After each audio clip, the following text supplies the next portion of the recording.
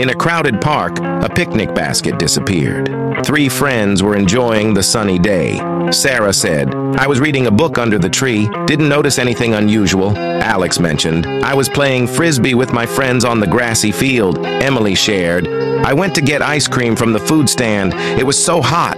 Who might have seen something about the missing picnic basket? This clue will help you to solve this riddle. Consider whose activity might have allowed them to notice something unusual.